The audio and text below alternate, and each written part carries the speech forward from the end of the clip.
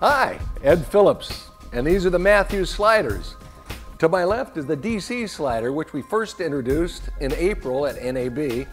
And to my right, the HD for heavy duty, which we're going to introduce in January.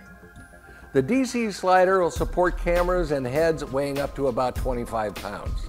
Whereas the HD, which I want to show you today, will support cameras up to about 65 pounds, including the weight of your head. Oh, geez, it's okay, it's supposed to do that.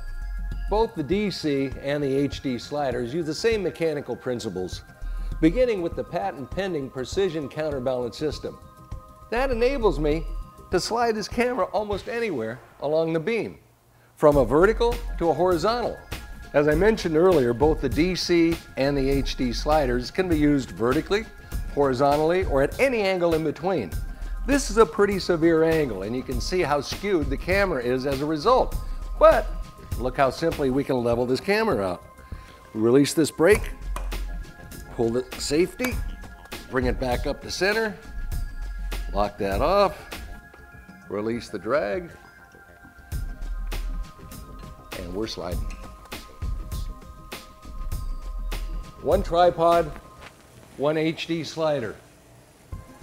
It's a mini jib, it's a crane, it's a vertical tower, it's a tabletop slider. It's four tools in one.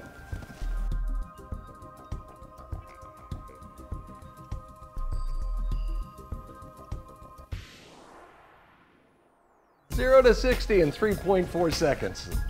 Or pin to pin, which is about five and a half feet in 24 hours.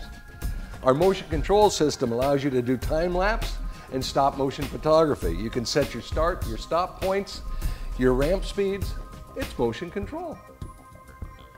Matthews sliders, the DC model for camera packages weighing up to 25 pounds, and the HD model for camera packages weighing 65 pounds.